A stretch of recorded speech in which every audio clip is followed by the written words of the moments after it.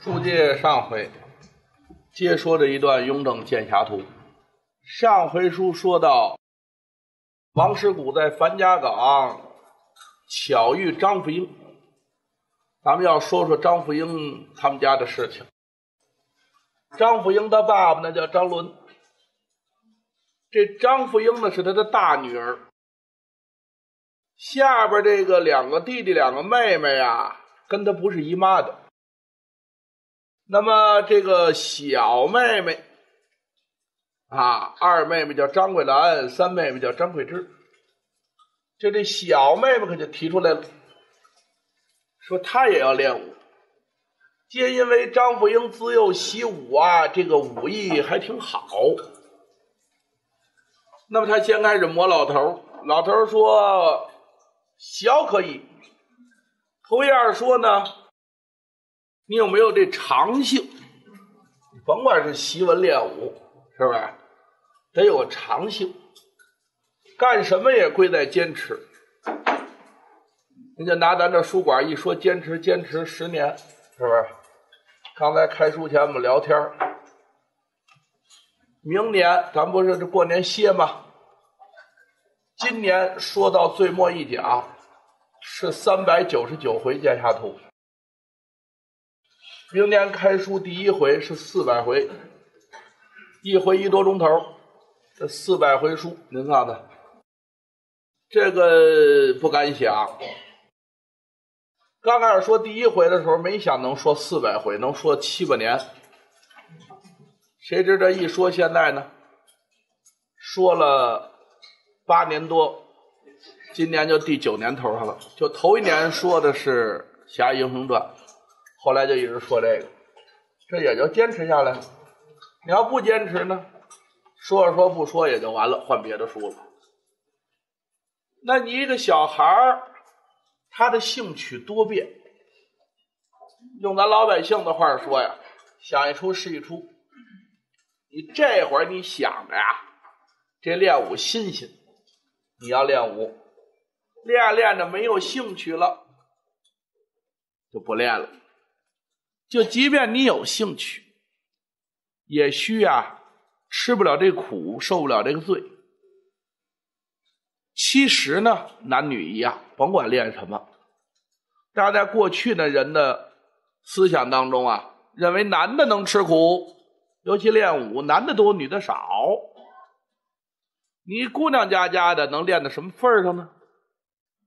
第三个很主要喽，就我没工夫教你。要教啊，跟你大姐学，也就是说这初级班啊，就大姐教就行了。真说你学成了，这初级班毕业了，再上这提高班，提高班呢就是爸爸亲自教你了。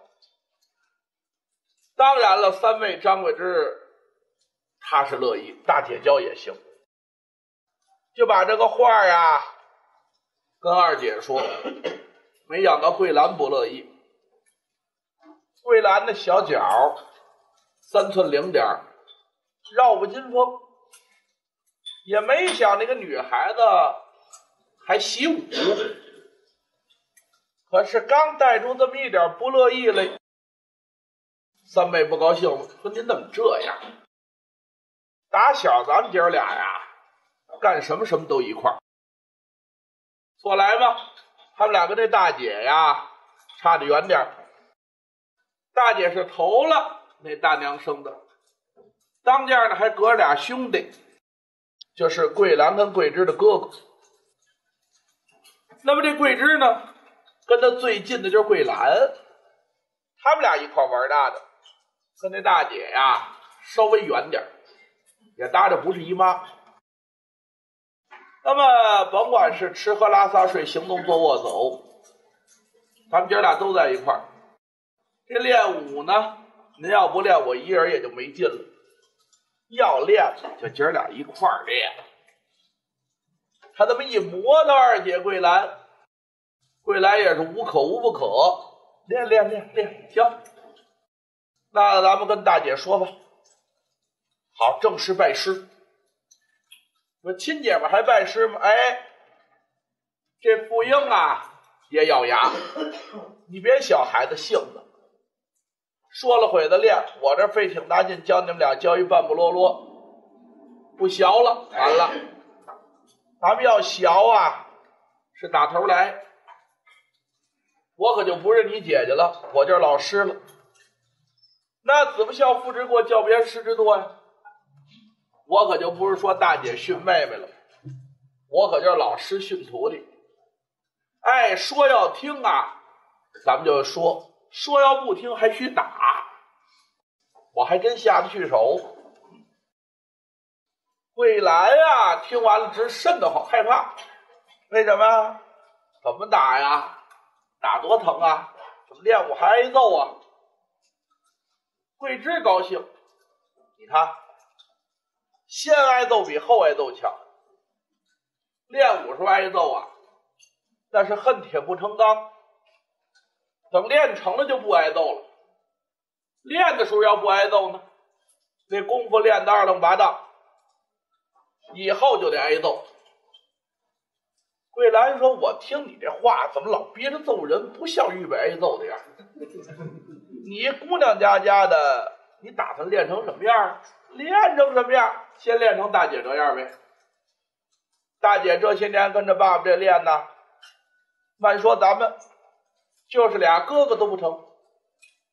张忠、张孝，别瞧这男子，在练武上啊，没有什么天分，真没有福英练的好。那么两个人这一拜师，张伦说：“那行了，那我就不管了，你们每天练吧。”家里头呢，练武的地方是现成的，有把式场子，把房后头这块空地拾掇出来。早晨啊，天很早，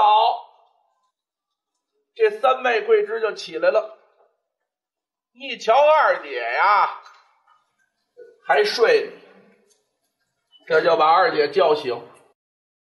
二姐说：“你疯了，天将然刚亮。”你就把我给叫醒了，干嘛？再睡会儿。您怎么了？昨儿咱不拜师了吗？咱不说好跟大姐习武吗？怎么今儿您起这么晚呢？这个武艺每天起这么晚，怎么练呀？桂兰说：“什么钟点了？天都亮了。”桂兰一瞧啊，天就刚亮。行行行，起起起！他这一起床啊，桂枝一瞧可麻烦了，把这睡鞋脱去呀，一抖了他这裹脚袋，感情得重新裹。睡这一宿，脚也不老实。这么一蹬啊，有松的地方。再有呢，这条裹脚带呢。这一宿出汗呢，他就有气味了，怎么样啊？就不要了，将洗，换一条新的。拿这裹脚带自己那么一裹脚，他就是个慢性子人，他就喜欢他这三寸金莲，他裹的倍儿细致，仔仔细细，一点一点跟描花似的，他一裹他这脚。三妹桂枝要没事呢，平常瞧他国家也不起急。今儿个心里有事，拉着他练武去。一瞧他这个裹脚啊，恨得很。你这干嘛呢？我得把脚带子裹上啊！我不能光着脚穿鞋去呀！呵，那得拽着点儿，这不就歘歘歘一裹，一系就完了吗？那是你。我呀，我也不裹，谁受这个罪呀？你别着急，这不是着急的事儿。好容易呀，把这两只脚裹好了，这才脱睡衣呀，换衣服，重新登上啊软底儿的弓鞋。这儿呢，梳洗，桂枝呢，什么什么都得等着他。好容易二姑娘啊捯饬完了，天光大亮，拉着二姐呀跑到后头板场子一瞧啊，人家大姐张富英啊，已然练了三趟拳了，早就起了。桂兰桂枝很不好意思，说让大姐您久等了。富英呢，哈哈一笑，亲妹妹了。说你们可起得晚点照这么练呐，咱这舞啊，什么时候能练成喽？明儿早点吧。哎，明儿早点。那今儿我们回去了，回去了，还没练呢就回去了。桂枝说：“不是到这儿报个到就完了，咱得练。”大姐，咱怎么练呢？怎么练呢？按说教你们打趟小拳儿，对付对付就得了。可是我瞧你们这意思啊，又拜师又早起，还是真想练。那咱们呀，打最基础的练。咱们从站件开始。桂兰桂枝问：“什么叫站件儿？”哎，这就是个无极件儿。力从地起，这人要都站不稳，怎么能够跟人动手呢？就谈不到练武了。先得练站着。桂兰桂枝说：“站着我们还不会，怎么站着？就往这儿这么一站呐。当然了，过去的女子啊，啊，力不倚门呐，是不是？站在那随便靠也不成，规规矩矩往那一站叫亭亭玉立。这个站你们俩会，拿着桩站你们就不会了。就给两个妹妹啊。”一摆这个站桩的姿势，姐俩这么一学，感觉万事啊，要打算练，也就是吃苦二字，没有新鲜的。练什么基本功都是枯燥无味。好多人都问我这问题，你们这说相声多可乐呀？你们平常练功的时候是不是就特别欢快？特别愉快就把功练了，这都啊不接触我们这行人，不了解我们这行人，一样练基本功枯燥极了。你看我吧，我给您说书啊，我还真没怎么练过。说您花钱听一不会的多冤呐！那我实事求是，我还真没学过。那我凭什么给人说书？他我这占了我这爱好的便宜。他我且小就爱好这，我就好听，我就好看书，然后善于模仿，一开始就模仿。您真说让我一句一句学，我还真没学过。您让我跟梁岩先生似的，当当当当这么背，我也没下过那功夫。哎，他是大块文章都能背下来。奶奶上宣南听过水浒。他能背一百单八将，这一百单八将头一个上天什么星什么绰号姓什么叫什么，第二个上天什么星什么绰号叫什么，他都能背下来，还特溜，而且拿起就有，这就人下功夫了，我不灵。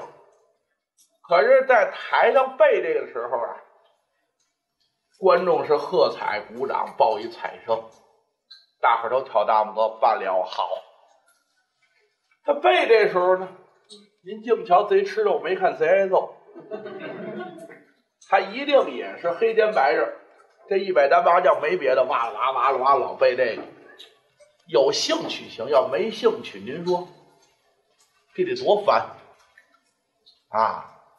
什么什么练基本功都没意思，让俩人站儿。那哪站得住啊？那桂枝啊，也就咬牙而已。桂兰呢，咬不住牙。二姑娘练一会儿啊，就受不了了，虚汗也下来，就觉着浑身不得劲儿。你说哪儿难受啊？也说不上来，站不住。傅英说：“不成，咱歇会儿，歇会儿，咱们一会儿再来。”简短说吧，这头一天呐，也没别的，就是站会儿歇会儿，歇会儿站会儿。临到末拉了，该收工了，得吃饭，得睡觉啊。说明天早起，咱们接着练。桂枝可就问了大姐：“明儿咱练什么呀？明儿咱还练这个？”什么叫还练？这个就接着站站啊，还站站，今儿不站一天了吗？对了，站一天哪儿行啊？似乎啊，像这样的战法，小起码也得站二十天往上，才能站出点样来。还站着，未来一听，一朵牙花子，说了声：“妹妹，大姐教咱这什么功夫？净说站站二十多天。那大姐说让站，二姐您甭瞧瞧，就站，人家会，咱不会，好吧？也甭抬杠。这一晚上没听别的，就听桂兰呐，哎呦，那什么？她累呀，不住的抱怨。桂枝呢，先开始还跟他搭个着，到后来你琢磨，他又最小，他年轻啊，站这一天也累啊，沉沉睡去。桂兰一瞧他睡着了，也就不言语了。第二天早晨起来，天还没亮呢，桂枝就把他给捅过醒了。我说你干嘛呀？你什么毛病？怎么不让人睡觉？二姐您怎么了？昨儿就让大姐等咱半天，今儿咱就别去了，长记性了。我特意早起。您说这小姑娘还真是有点心，那么年轻啊，她心里要不搁事儿，头天又这么累，那就睡得少也是她。小孩都贪觉，这不仅早起，还叫二姐。二姐说不起呀，这就掀被窝，姐儿俩一块长大的，倒不在乎。拉着二姐起来，没等二姐说话呢，他先伸手把睡鞋给扒下来了，伸手就解裹脚带，拿新的，自己赶紧缠，快点！我先洗漱，然后你弄完了赶紧的吃洗漱，咱们后边比昨天早。那傅英也到了，傅英一瞧，孺子可教，怎么一天比一天早啊？哎，这要效仿张良纳履之故耳。这样的好学生值得上进。大姐，我教。今儿教什么？昨儿说了，站架了，接着站吧。又站一天。赶每天这功啊，这张桂枝这三妹啊，是越站越好，还真长功。张桂兰长不长？也长，她长得慢。说一块儿练的，他又大，为嘛他长得慢呢？他每天歇的时间长，好比张桂枝这一天歇三气儿，他得歇二十多气儿。二十多天过来呀，俩人那么一拉架啊，傅英一看，还真不错，得了，这头一个小架这就算站成了。哟，俩人一听，行了，那咱们接着练吧，练哪趟拳呢？啊。哪就到练拳了？不英说呀，站架练二十多天啊，教你个蹲架。每天呀改功课了，上午半天站着，下午半天蹲，还有蹲架啊。您再给来来，看着容易，这蹲架比这站架啊可就难多了。这站架好练，谁练武一开始这二十多天咬咬牙也过来了。一改这蹲架，一般人蹲不住，起码蹲裆。哎，甭说我这肉的身材，就是您身体健硕，哎，长得很苗条、很匀称，就是瘦人吧，也站不住，那是功夫。桂枝咬牙蹲着，桂兰蹲一天就蹲不住了。可就找大姐请假，大姐，我不蹲了，这蹲的太累，而且呀，我浑身呀疼，站那二十多天呢也别扭也累，咱不疼，每天出身汗，回去洗完澡睡觉还挺香，而且饭量见长，吃的东西香了，这一蹲呐，好家伙，真疼啊！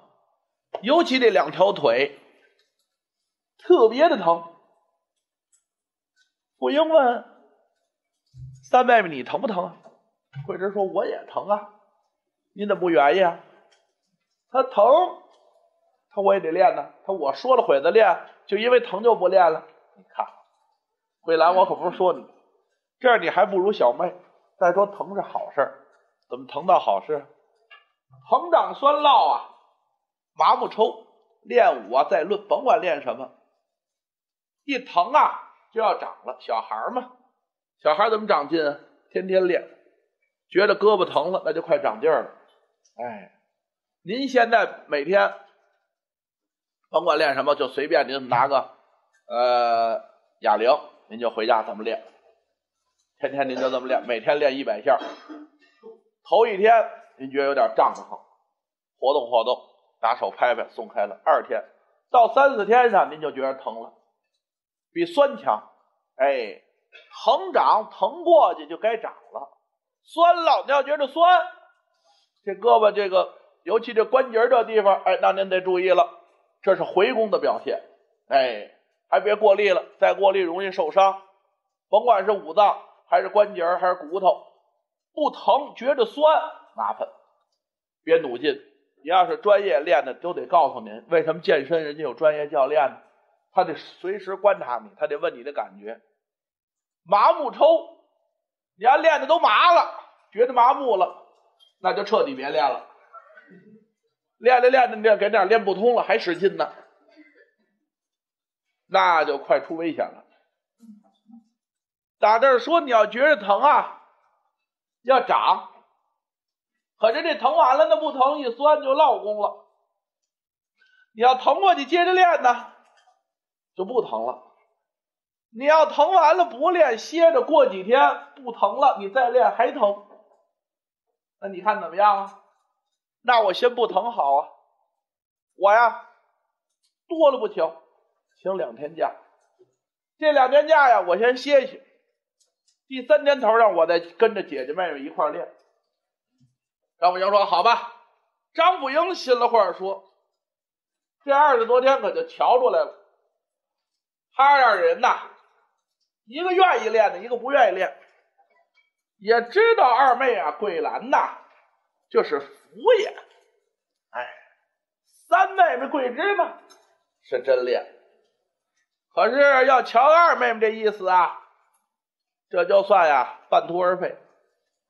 三妹妹桂枝呢，不知道能坚持多长时间。她要是请假呀，我还就准假了。练不练的就在她了。可是傅英啊，也有一点私心，怎么？他教一个比教俩轻省啊。他这个教啊，因为是自己家，除了教还得给看工，连教员啊带生活老师全是他一人每天还得照顾这俩妹妹。这在戏校不一样，那戏校啊，专有看工的老师。老师啊，人家那个教戏的老师是单有人，这老师专管看工，这看工最难。一看看多少个，谁也不能歇着，那难免呢就有落空的时候。这个呢一对一，哎，就看一个人他就轻了。所以二位不练呢，傅英呢也乐得清闲。二位转天不来了。桂枝一人可就早了，就跟张富英啊一块练。他这蹲架呢，张富英在旁边打拳，他这蹲着呢，暗含着这么拿眼瞧。小孩也聪明，就记呀，他大姐这么一比划，赶晚上回去呀，按照大姐那比划，大概其他自己这么一比划。俩月过去，这件站的差不多了。大小件完全站过来，打算教这小全儿了。没等教呢，自己这么一比划，已然像模像样的。你什么时候学的呢？就是您练的时候，我学的。说这个二妹桂兰来没来？又来了，来了可是来了。三天一请假呀，五天一歇工。这俩月加一块儿啊，也就上了不到一个月的课。根本就没有什么进步，好容易长点力啊，又回去了。桂枝也知道，再跟二姐废话呀，也没用了。张富英一瞧啊，反正俩学生能教出一个来也不错，就是这种教法，还真不含糊。教了五年，这个桂枝能耐呀，虽然说比不了爸爸闹海龙张伦，也比不了大姐张富英。张富英呢，跟他爸爸一样。是水旱全行，这个难得。张伦号称闹海龙，说路上头一口宝剑击压群雄，水里头雅赛过蛟龙。那么张富英呢？这武艺是他爸爸亲授，这么些年呢，又教自己这俩妹妹，叫教学护长。你别看教人长功长得快，他的水性也很好。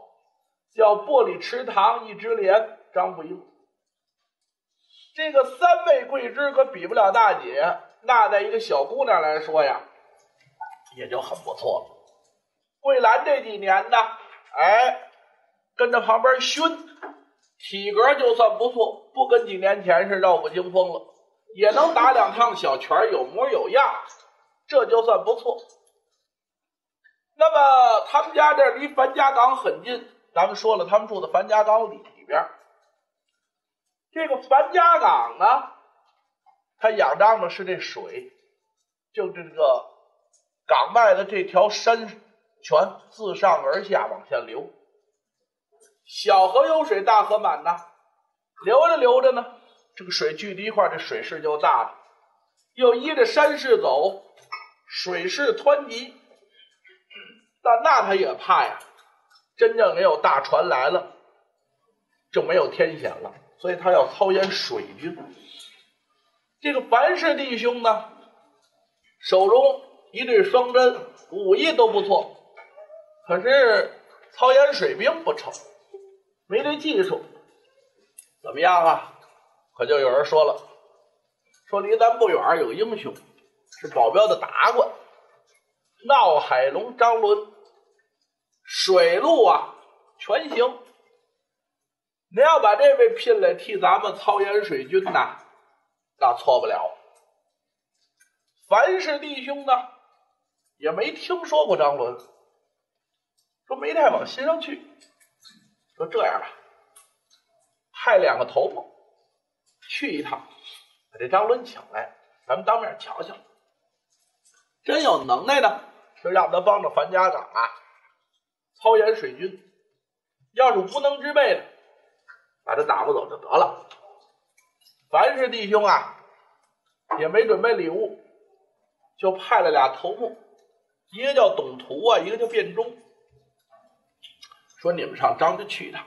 张伦住这地方，小地名叫张家铺。见这闹海龙张伦呐，就说让他来一趟，咱们这要聘请他为水军头领，让他替咱们练水军。哥俩一听，好吧，道路很近，片刻之间来到张家铺。到张家铺这啪啪一打门呐。张伦呢是作家的财主，咱们前文书说了，他弃镖行回来的时候呢，很攒了几个钱。这几年的娶妻生子，一大家子人，他没少买地，赶上年景不错呀。这几年呢，越发的富裕，家里头住的房子很好，而且呢，有手下家人，家人英门。一问您二位什么事？说我们是樊家岗的，奉我们樊氏寨主弟兄几位之命，到这来呀，是面见你家主人张伦，请他上这去一趟。什么事儿？见面再说。他要在呢，您受累给回一声。家人不敢怠慢，就报到张伦这儿了。闹海龙张伦这么一听，樊家岗、樊氏哥几个没来往，不认识，请我干嘛去？自己是保镖达官出身，也就所谓的白道出身，他们是黑道出身，水火呀不相容。虽然说是近邻，但是鸡犬声相闻，老死不相往来，没穿和，也准知道找自己没什么正事儿，说让这二位进来吧，把这二位就领进来了。张伦呢，也没出来接来，这二位呢也没带礼物，空着手，这好，两不就乎，彼此都不太礼貌。俩人一瞧，闹海龙、张伦连站都没站起来，俩人快闪得慌的，脸上也带出点不自然，啪这么一抱拳：“张老英雄，二位别客气，你们二位什么事啊？什么事啊？我们寨主凡是四兄差我们哥俩来，让您去一趟，皆因为我们那儿啊要演练水军，听说您是啊水陆的英雄。”是陆地也行啊，水里的也行，人称闹海龙，必有过人之处。打算聘请您，您那来一趟吧。张伦一听，哎呀，你什么也不带，上这请我来，你们樊氏四雄就派俩喽啰兵，就能把我请去了吗？那衙门请我到那儿帮着人家做事。我都没去，官的都不去，我能去这私的吗？我是保镖的达官出身，能加入你们这团伙，入你们这寨吗？那是绝办不到。所以张伦呐不愿意。可张伦不愿意，又一琢磨，这俩小子来了，我就说不乐意。他们俩人。还想瞧我？回去他说我不敢去，我没真能耐。而且呢，这樊家哥几个对我呀也不太礼貌。这样，我想个主意，他就跟这董图变中说：“哎呀，感谢呀，你们四位寨主瞧得起我，我张伦何德何能啊？”有什么了不起的呀？外边传言呐为虚，其实也没有什么本领。我跟着你们二位辛苦一趟啊，够奔樊家港面见四位寨主，倒是没什么。可是恐怕呢，也不能够满足您的要求。怎么？我在您那儿啊，当不了这水军头领，我家里有事儿。您家里有什么事儿？你看，我这站着房躺着地，单有佃户给我种地，那我都不管。皆因为啊，我这几年呐，在家里没干别的，我是纳门呐教子，我是天天在屋子里头啊，把门关上就教孩子。哦，您膝下俩儿子仨姑娘。都随我习武，这武艺啊练的啊，将然到要劲儿的地方，要出宫了。我呢，跟着你一到樊家岗里头啊，这不是一天两天能回来的。我练得成练不成，水军搁一边说十天啊八天也是他，个月齐登也是他。再说悬点啊，就许二年。我不在家啊看着练呢，我这仨孩子这功夫就半途而废了。原先下这功夫就算白练了。这么着呢，我不愿意去。可是我要就这么一说呀，你们二位许不信。这么办吧，您二位跟我瞧一眼。说着话，站起身形啊。我就把这二位带到房后头。这个姑娘呢，张富英啊和张桂芝是天天练。张忠、张孝、张桂兰虽不是天天练的，也练。可巧今天呀，都在这儿，正合适。把这二位领来，用手一指这五个孩子，看见没有？这是我俩小子仨姑娘。敢是姐弟兄妹，五人往这这么一站，董图和卞忠这么一瞧，这俩男的小伙子雄姿英发，挺精神，也看得出来练过。为什么？胸脯子拔着，腰背挺，俩胳膊呢扎实的撂不下，天天练的有劲。再一瞧这仨姑娘，你要不说可瞧不出练过，怎么漂亮？一个赛一个年轻貌美。你琢磨琢磨，这都占山的喽啰兵，瞧这仨姑娘啊，可就往宝了看。张伦呢，一时把主意拿错，你露两手功夫把他们俩吓跑了，不就完了吗？他不去，他让这俩人看孩子们练，真是跟我练。我让他们练，你瞧瞧。来，你们哥俩打趟拳。张忠、张孝啪啪一打拳。你们姐仨练练兵器。这儿呢，大姑娘张桂英练了一趟剑，三妹妹张桂枝耍了一趟刀。董图、卞忠那么一瞧啊，真没想到，人闹海龙、张伦家里边的女孩子都这么好的把式。俩人看完嘿嘿一乐，得了，张磊英雄，看起来您这是真忙，您是闭门客子，那就甭说了，我们哥俩回去了，别走啊，回去哪去？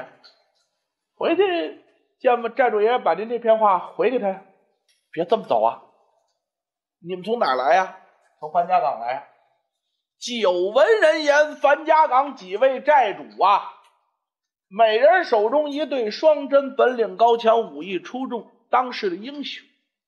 那么强将手下无有弱兵，你们二位必然跟着寨主也没少练，这把式不问呐也是好的。看我们这几个孩子练了半天了，别白瞧啊，指点指点，给说说。另外呢，留两手功夫。让他们看看樊家岗的人多厉害，好让他们知道啊，天外有天，人外有人。别年纪轻轻练了会子，就觉着自己不含糊，以后出去给我惹祸去。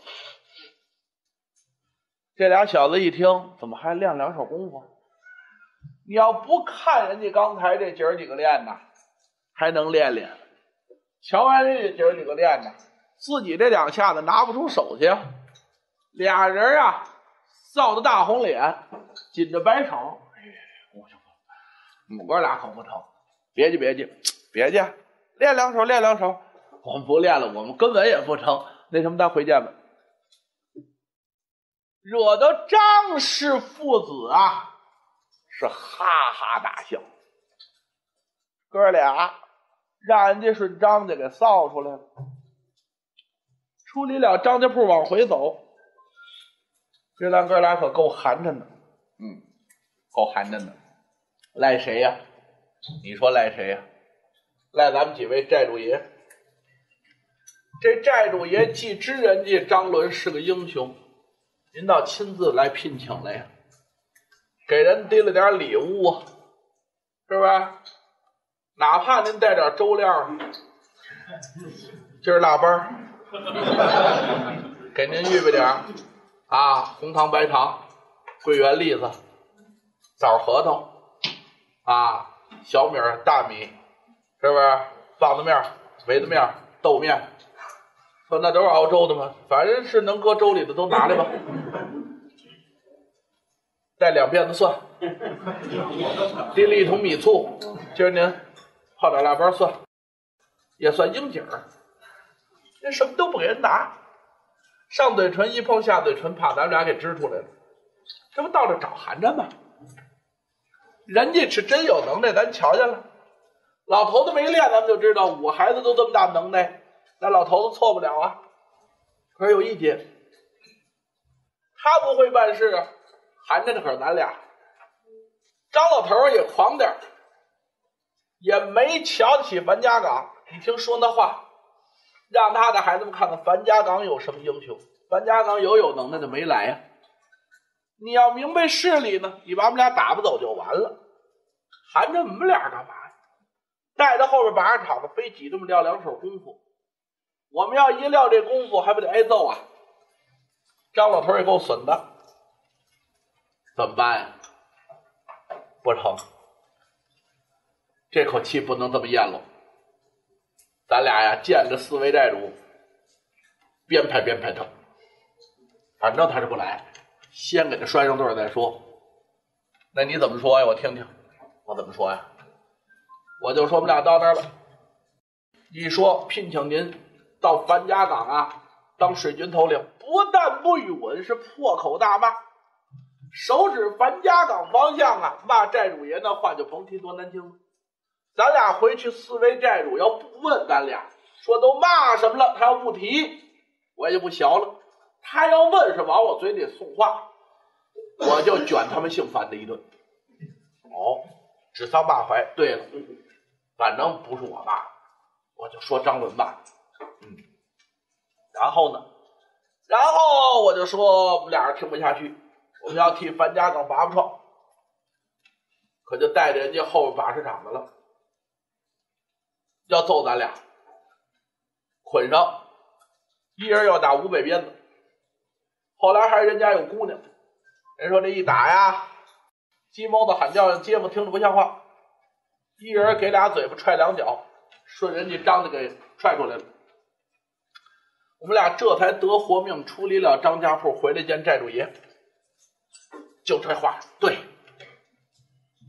俩人半道把这瞎话就编圆圈了。回到樊家岗，完事哥几个呢？一瞧俩人回来了，那怎么样？见那闹海龙张伦没有？见到了，乐意吗？好，不但不乐意，是这么、这么、这么、这么一回事。凡是弟兄闻听大怒，这个老者姓张的要疯，藐视咱们樊家岗。办他，这一说办的呢，可就有人提出来了，说别介，为什么？咱们这现在事儿太多，火焚八步堂，这刚逮你王师古关着，咱别谁都招啊，咱这会儿没有啊精力啊，去对付这张伦，咱们事有轻重缓急。张伦这事儿呢，不是什么大事。等王师古这事儿彻底解决了，咱们再说。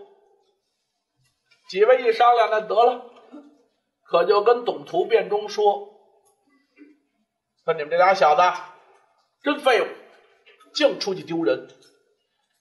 行了，这事儿我们知道了，回去再说吧。”哎，董图、卞忠这招儿没得管用，车和事儿没车和起来。白费了，俩人丧不打眼，顺那个上房给轰下来了。你这招不管用啊！是，他不是这好脾气人呢。怎么说完了，烟不出火不冒的，算了。再说再说，这什么时候了？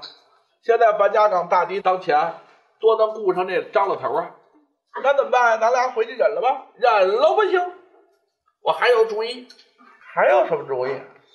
你老实歇会儿好不好？养养你的精神，不错，不错吧。怎么着？咱俩呀，找大头目去。这些日子都忙，债主也见不着大头目啊，大头目也见不着债主爷。咱两头一传瞎话，咱让大头目先跟他干一仗。那怎么说呀？怎么说呀？咱俩就说债主爷让咱俩瞎话，这事儿交大头目办。就说。张伦呐，辱骂樊家岗，辱骂债主爷，让大头目带人呐去办这张伦去。债主爷顾不上，可是呢，让咱俩下话下话，没说准时间，说是立马就去，还是等过过再说呀？没细说，您自己照量着办，您看您什么时候去？这话行。俩找大头目来了。樊家岗啊，有个大总管的头目，地位仅次于樊氏四兄，叫九里长江许成。许成掌中一口金背砍山刀啊，也很说得过去了。那么似乎像董图变中呢，这叫小头目人儿。见着大头目啊，许成满面陪笑，未曾说话先作揖。许头，好吧？啊，我们从寨主爷这来。寨主爷啊，有事儿让我跟您说一声。什么事儿？说吧。就把四位寨主要聘请闹海龙张伦为水军头领。张伦不愿意来。不仅不愿意，怎么样的骂街，怎么样的打人，又说一遍。那寨主爷什么意思？寨主爷说呀，现在啊，樊家岗事儿太多，忒忙，顾不上那闹海龙张伦，也不必兴师动众，几位寨主爷拍门找他去。小小的张家铺啊，也容不下这么些真神，怎么样？就让您来一趟，让您办这张伦，怎么办呀？怎么办？您自己想主意。没说，也没说时间，也没说马上去啊，也没说是过过您再去，就这么跟您说吧。这事儿您看着办。哟，许成一听，这题目难了，怎么？这看着办更不好办。这是债主也考验我，让我看着办，全权交给我，那我还非得把这事儿办漂亮，不仅得办这张轮，还得及时。赶债主爷把大事料理完了，想起这档事一问我，我早就办成了，那不该找我九里长江许成露脸吗？行了，你们哥俩呀。去过张家铺，见过张伦呐？哎，那我就跟问问你们俩人，寨主爷即使说了这话了，我还是马上就办，我拍门找他去。可是有一节，我得问问你们哥俩，这张伦的能为如何？咱们哥们不错，可别阴我。实话实说，你们要觉着我这口金背砍山刀啊是他的对手，咱们带着弟兄就叫强攻。到那儿咱们就论打，你要觉着我这口刀子敌不住人家，咱们就智取，咱们想主意擒他。哥俩一听啊，嘿，许头，要我说，您是明白人，未曾思进先思退，这叫知己知彼，百战不殆。对呀，咱别打糊涂仗。我们哥俩跟您掏心窝子说，怎么样？智取。想主意去吧。嗯，明白了。许成心里话，那我这招就不怎么亮了。张文有那么厉害？哎，反正是人家的我孩子全会练，您算计吧。咱智取稳妥。那就是，那行了。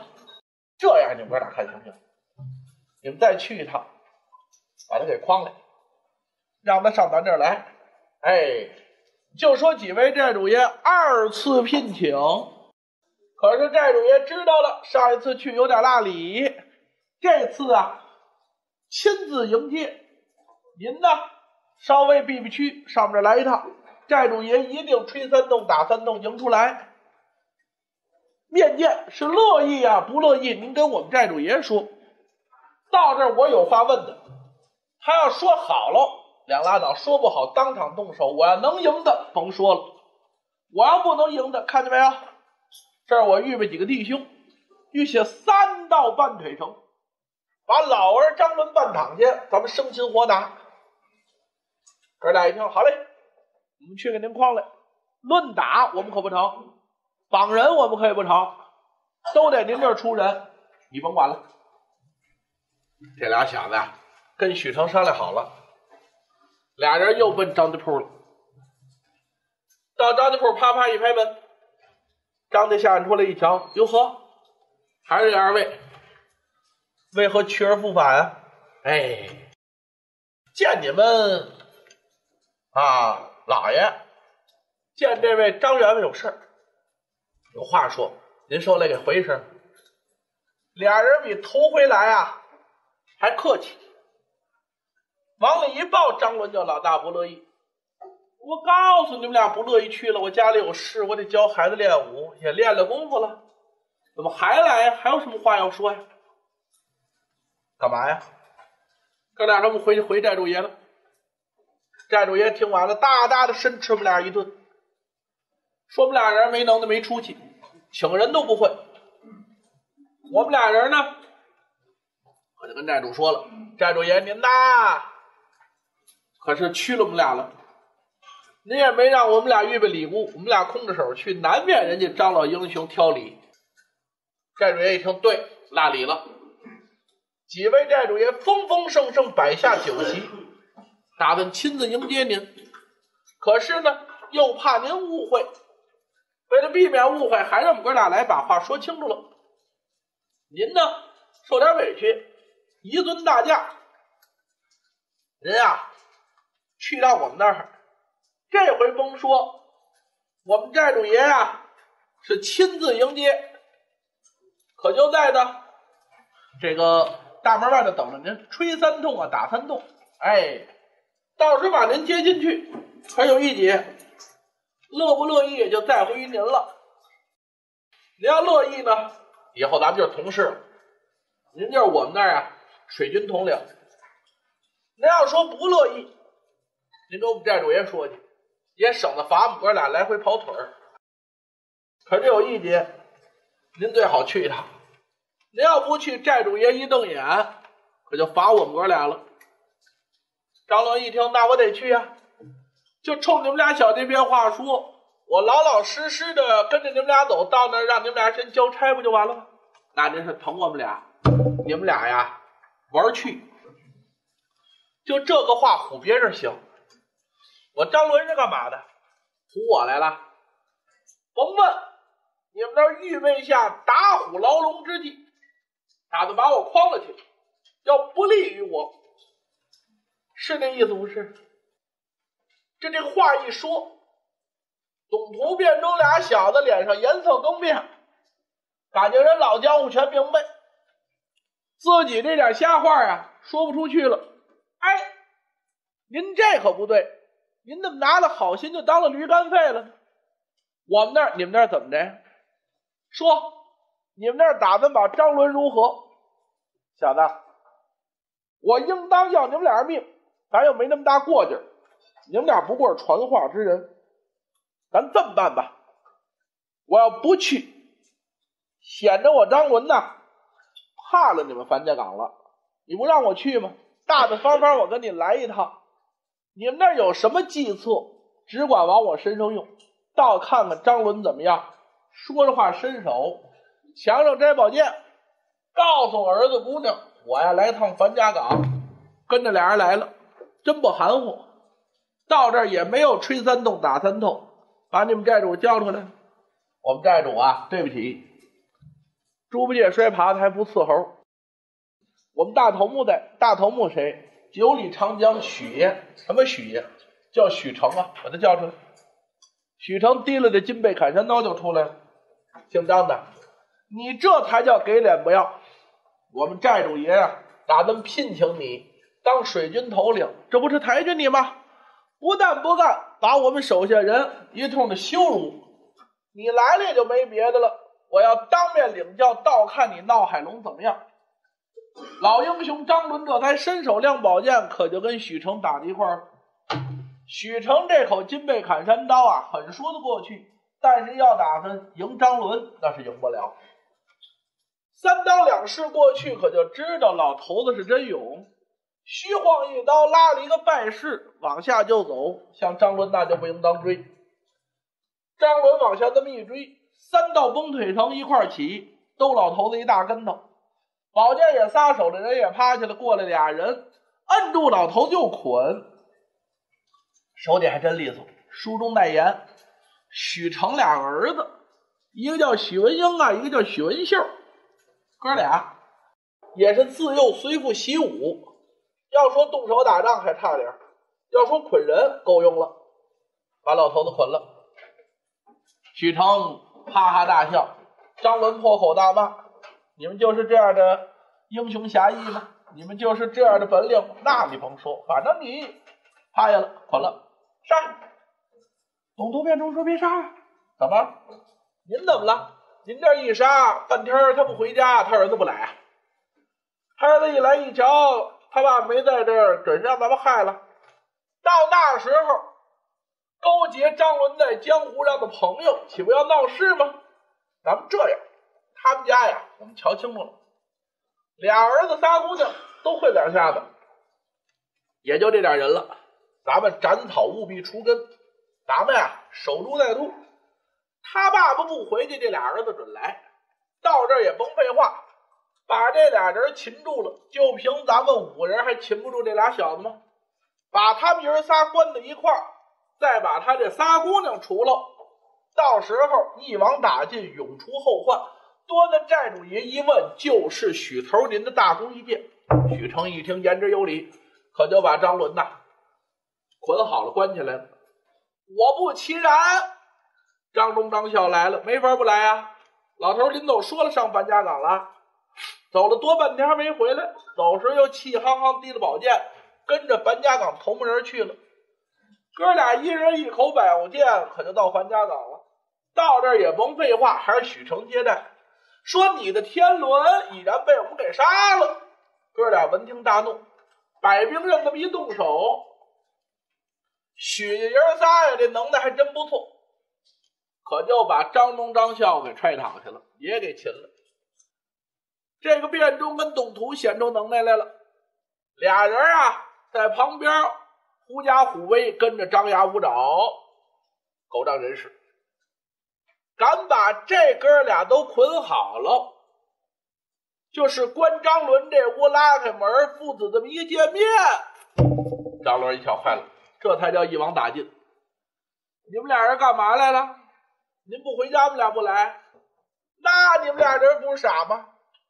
我要不回家，就让人害了或者让人擒了，我都不行。你们来不是白饶吗？可瞧您这话说多不讲理啊！您是爸爸，我们是儿子。您不回家，我们当儿子的出来找找还不对了。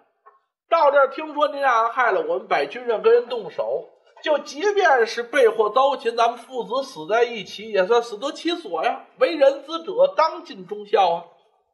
张伦说了一个哑口无言，太对了，只恐怕你家中你的母亲跟你的姐姐妹妹要遭殃，可恨你我父子一身武艺，到现在束手被擒，是无可奈何。这会儿张伦后悔啊，叫悔之晚矣，爷仨都让给捆了。这就是待宰的羔羊，就得听人家摆布。许成说。事到如今怎么样啊？董头变成说：“那行了，跟您说，这张伦别看能耐不怎么样，这仨姑娘，嘿，要岁数是岁数，要模样是模样。我得问问您，大少、二少，我们这两位老贤侄，哎呀，狗嘴里还能吐出象牙来。贤侄，你把它砸弯喽。我们这俩。”我们这俩侄子，您给说媳妇没有？没有啊，是喽。这仨抢来之后，让文秀、文英哥俩先挑，挑剩下是我们哥俩的。嗯，文秀、文英先挑，挑剩下仨挑俩，还剩一个，你们俩人怎么分的？那您就甭管了。嘿，文秀、文英，叔可不冤你。就张伦这老小子，这仨姑娘啊，可都挺漂亮。行了，就凭二位少爷的武艺，到那儿可就错不了。文秀跟文英一听，一琢磨，好啊，带着人去抢去，带着手下喽啰兵就奔了张家铺。张家娘儿几个正在商议，干嘛急坏了？老头拿宝剑走了，张忠、张孝拿宝剑也走了，全都一去无有音信。那甭问，到那儿打起来了，就听外边咣咣咣这么一叫门。要说还得是傅英，傅英这才用手一指，说了一声：“二位妹妹护着老太太。”自己墙上摘宝剑，可就到当院了。他到当院呢，这伙人翻墙可就进来了。到这儿把门打开，呼啦一下撞进不少人，为首的就是文秀、文英、许氏弟兄，再加上董屠、卞忠，四个人一人一口明晃晃、亮堂堂的钢刀。董屠用手一指张富英：“怎么样？怎么样？你们小哥俩瞧，那俩小的还漂亮。”可就不由得呀，傅英大怒。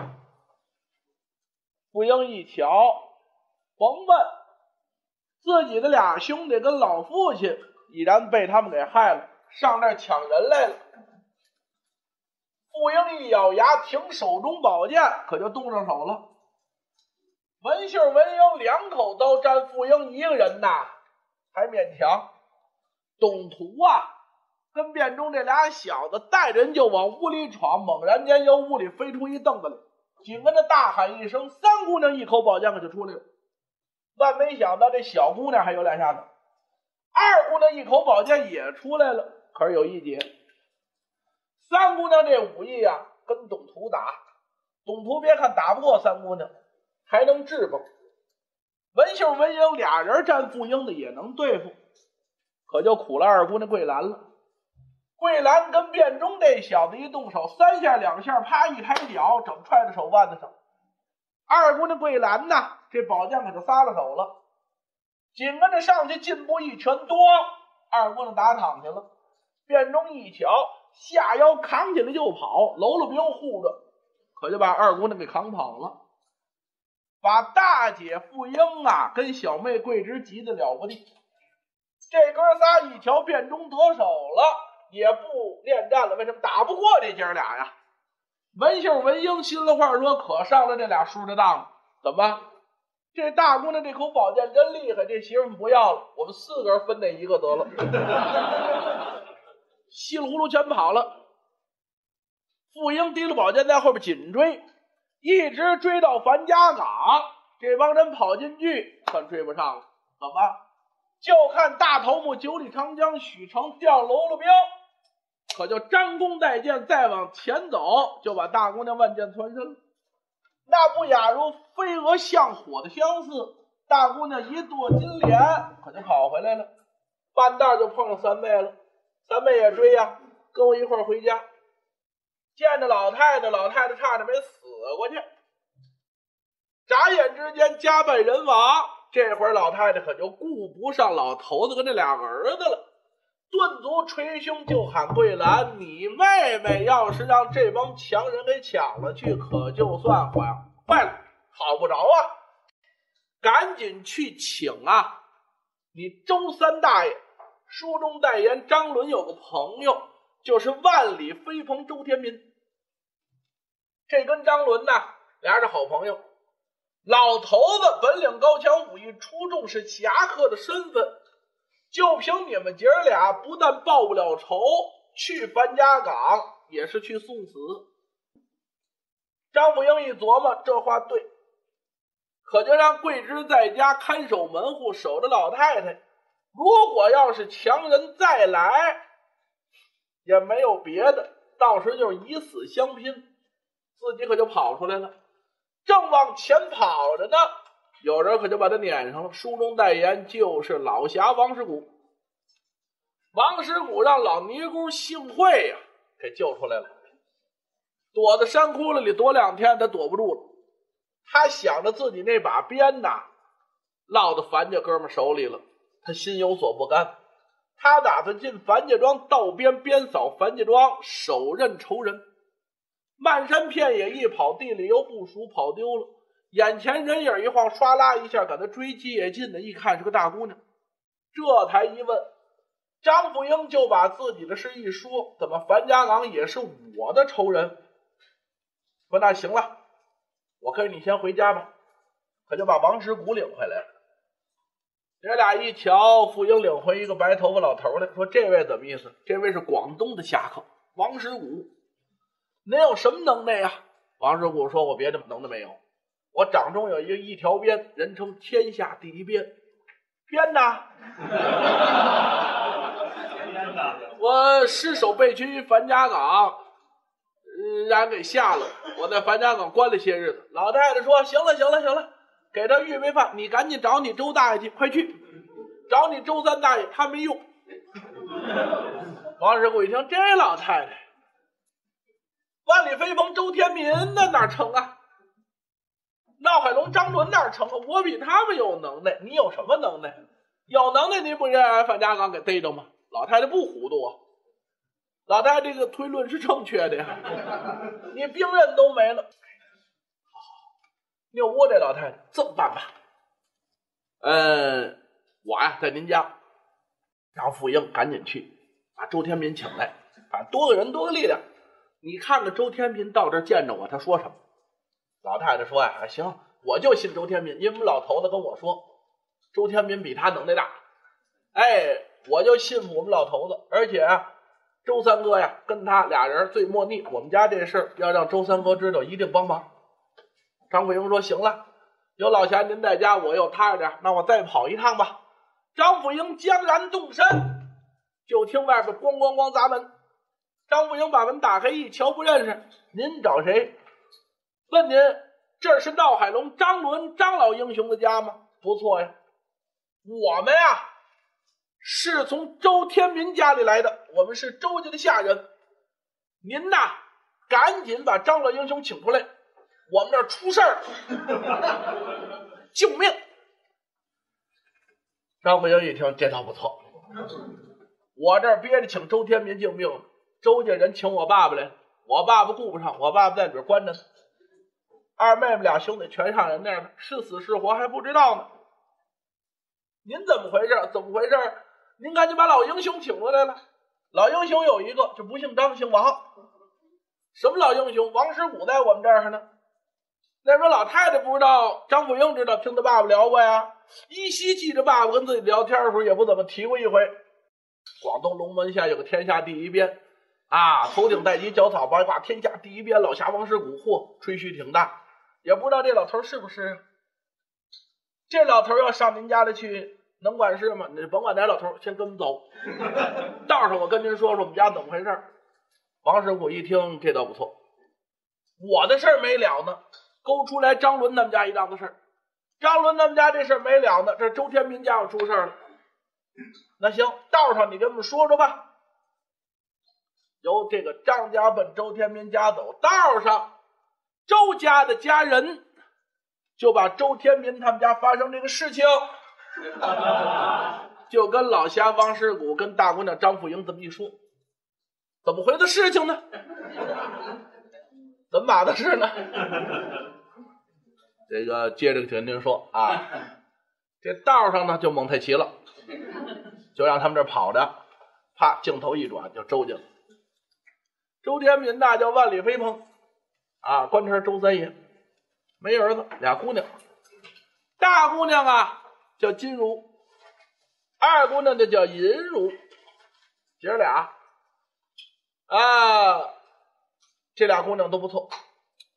自幼呢，跟着周三爷，哎，识文断字的，但是呢，没练武。姑娘家家没怎么练。周三爷呢，家境不错，打算聘这俩姑娘啊，舍不得，就俩姑娘没儿子。老两口啊，跟周三奶奶可就商量，说是养儿也得计，养女也得计。有那么句话，一个姑娘啊，要娶一个姑爷，叫一个姑爷半个儿。老太太说什么叫娶一个姑爷？那叫嫁一个姑爷。老头说你不懂，我俩姑娘，我不打算嫁了，不外聘了，我招啊养老的姑爷，倒插门他后半辈子我包了，改不改姓儿的无所谓。我姑娘啊不能走，一个姑爷半个儿子，我俩姑爷也和一儿子。老太太一听，能有人乐意吗？你瞧，重赏之下必有勇夫啊！想我周天民江湖上人物字号，家趁人直，我又趁浪，我俩姑娘又不缺点嘛，少点嘛，还识文断字的，长得也不寒碜。你派人外边说去吧。这一说呀，就愣没有乐意的。那会儿的人呐，都觉得倒插门啊，更名改姓啊，寒碜，不穷到一定份上啊，不认同。这方便左右适龄青年呀，还就没有合适的。一来二去一耽误啊，老婆可就埋怨周三爷：“你这不把姑娘耽误了吗？”周三爷说：“那我哪知道不好嫁呀？我当初想挺好，感觉事与愿违。这天呢，来个串门的，王大娘。王大娘到那儿不能找周三爷，就找周三奶奶。周三奶奶说：‘您找我什么事儿啊？’嗨，自从您那仨叔人家打算招养老的姑爷，我就给您上了心了。一来二去啊，有点耽误。可是现在有一合适的，没有比这再合适的。您看看，是先嫁大姑娘，是先嫁二姑娘？哟，你先说说我听听。这个小孩啊，姓陈，叫陈宝光。落到咱们这儿啊，可就算是落了牌了。跟您说，是他姑姑啊，是他姨呀，是咱们这儿的，他来投亲。没想到没找着，一着急小孩病了，病在小店里头了，欠下不少账。一听说咱家这事儿啊，打算呐上门啊入赘，还店万账，还医药费，情愿改姓啊，给您这当儿子。周三奶奶一听高兴啊，行啊，这么长时间没有下落，今天准有信了。这位。能相看吗？能啊！您要乐意，我把他领来，咱们瞧瞧啊。您要看着乐意，姑娘再看着乐意，这事儿就八字有一撇了。好吧，你领人家吧。王大娘领人家，周三奶奶跟周三爷把这话可就说了。周三爷一听不成，哎，好容易有了，答应入赘，你怎么又不成了？这不是荡乡本土的，不知根知底儿，这不能给。知根知底儿，你这话就叫废话。他没根没底儿，他都落到小店了，都落了赔了，他有什么根底？我说的不是钱，你这他什么孩子？他怎么落的赔呀？他不是投亲不着，访友不遇吗？那是他这么一说。他要真是那坏孩子，吃喝嫖赌，奸懒馋滑。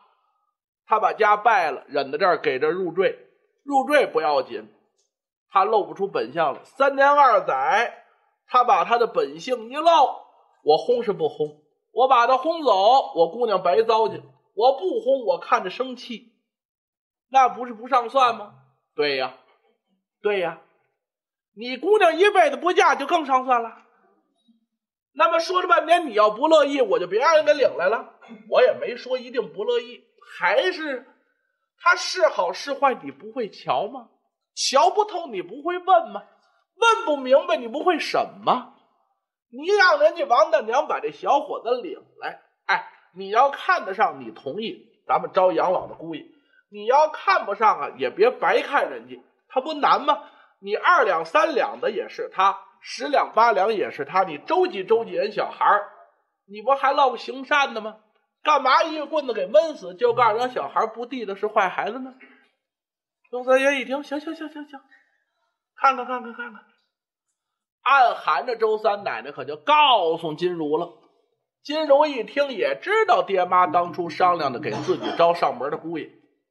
银如很高兴，银如说呀：“这不错，哎，招俩姑爷上门，咱又是姐们又是妯娌，以后啊，咱们永远不分家，这不错。”寻常的姊妹啊，各家一方，走得近的呢，一年也见不了三回两回；走的不近啊，这辈子就许见不着了。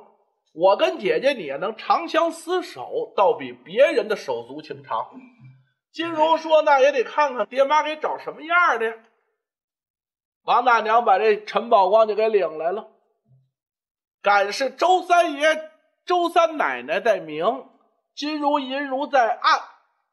一瞧这小伙子衣衫褴褛，精神不振，往这一坐倒是规规矩矩。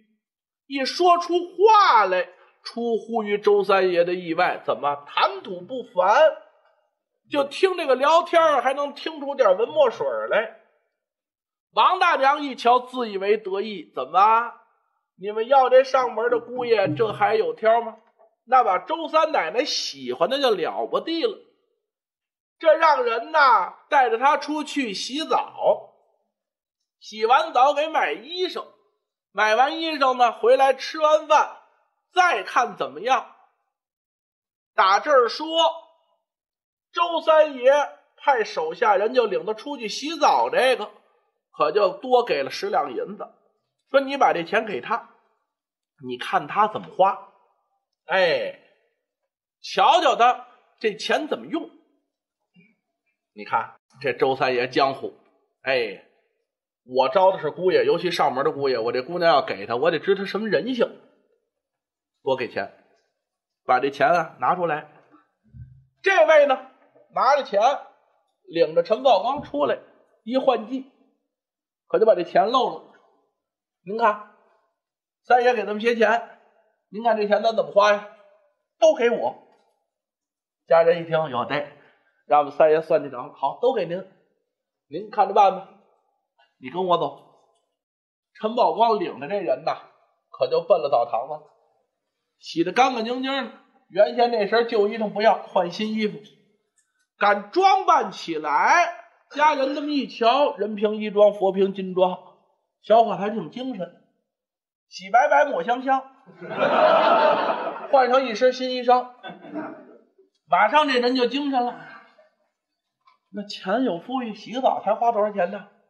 换身衣裳也没花多少，拿着这钱跟我买几样东西。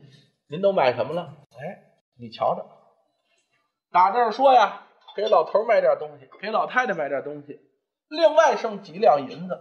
这几两银子我可就不还了，您干嘛？我谢谢这王大娘，人家给我指条明路，给我找个家。我打这以后，不说锦衣玉食吧，最起码我后半辈子衣食无忧，我就算活了。这几两银子，回头您跟老爷子说，是我谢媒人的。哦，家人一听够光棍的，周三爷这小招没用上，回来赶再到了周家。老太太一瞧，怎么样？怎么样？三爷，你瞧，是坏孩子吗？你看这模样，你看多精神。咱们姑娘嫁这样还不成吗？你别光看模样，不看模样看什么呀？不看模样看什么？那你还要怎么看人家？谁跟着去的？我跟着去的。来来来。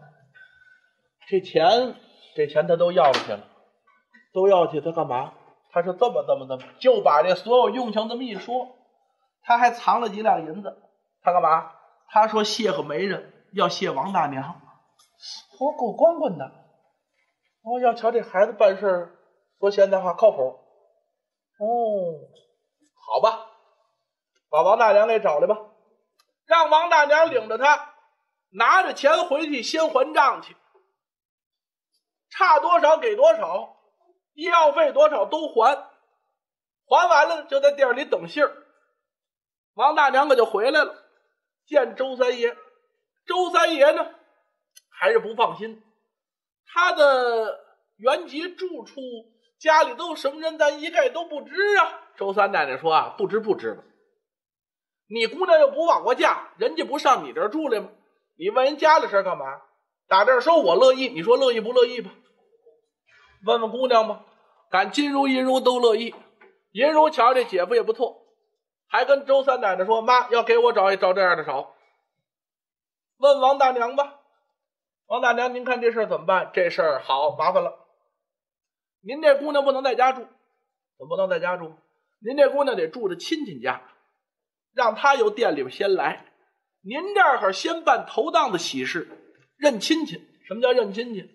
老头不没儿子吗？您跟三爷让他跪在这儿给你们二老磕头，先认儿子。打这儿改姓，陈宝光就不行了，就叫周宝光。他在您家住下之后，正式发轿子上亲戚家，再把大姑娘金如给接来，这算娶儿媳妇。是连娶儿媳妇带聘闺女，认儿子这是三喜临门。呵，您老有经验，哎，这事儿就得这么办。是招姑爷，全是这么个招法。哦，是是。呃，另外呢，我得跟您张张嘴。什么事？到那天我们也得来喝杯喜酒。可是有一节，我连件体面的衣裳都没有，没别的，三奶奶，您借我几个钱儿，我先扯点布，我先做身好衣裳。您这话就远了，早就给您预备下十两银子谢礼，叫您这么一说，我成伸手跟您要谢钱了。我跟您老接旧方子，这不就帮忙吗？看这小伙子不错，这姑娘都是我看着长大了，他们能成，日后好好孝顺你们二老就是了。我这里可不图钱，那也不能让你白跑。这十两银子无论如何你得带上。您说您这怎么话说的？那等我有了钱，我再还您。您甭废话，买衣裳去吧。这王大娘还真有两下子。打这儿说，就算这王大娘把这陈宝光介绍成功了，陈宝光一进来呀，小两口啊拜堂成亲合卺，这日子过得不错。周三爷暗中考教几次试验，没毛病。这孩子还真不错，说话也得体。干事也成，周三奶奶暗含着：“亲你呀，你这一辈子我跟你说，你有不了儿子。为什么你净长脏心眼子？外边人称你呀，万里飞鹏周天民是个侠客，叫我说最不赞成你。我跟你这半辈子也委屈，这么好的小伙子要冲你当初那样，就许错过我们这姑娘，再找这样打着灯笼没地方找去。”周三爷呢，还紧着检讨自己。完了，完了，完了，了！三奶奶，您别这样，别得理不饶人。这回算你对了，不就是了吗？那不就相安无事了吗？这天来了一个人，啪啪一拍门，我找周三爷，哪一位叫周天民？周天民出去一看，年迈苍苍一位老英雄，背后背着这么一口刀。您江湖人称一条龙，我姓陈。叫陈文海，我跟您问个人，您问谁？有个叫陈宝光的在您这儿吗？不错，已然纳入我门中，又是儿子又是姑爷，您找的有什么事儿？大事儿也没有，缉拿归案。姓周的交出来，陈宝光两拉倒，二话不说，捆上就走。不交陈宝光，咱们就是一场热闹。